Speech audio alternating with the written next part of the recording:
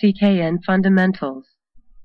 Since 1979, our nation and people have been united in carrying out a very heroic, harsh, and determined struggle with the support of peace and justice, loving countries and peoples. In the future, our nation and people will still need a great national unity in order 1. To defend the justice, unity among the people, and unite all Cambodian parties. 2. To build a prosperous Cambodia, where the people in all social strata enjoy a reasonable and sufficient standard of living, and proceed towards a prosperous and happy life in all fields. 3. Committee Khmer Nationalism expresses its sympathy to and supports all Cambodian political parties, organizations, and personalities who are carrying out a national policy and concrete activities in the interests of nation and people, and of the cause of the great national unity.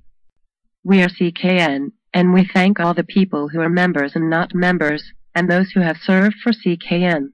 We thank Mr. Buntoon helping us with finance, and all the CKN unknown hero face shown in this video. Thank you so much for watching. Please like, comment, and subscribe. This is Chan Loeung, and don't forget to watch out for more videos to come.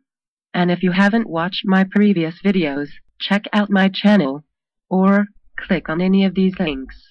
Thank you.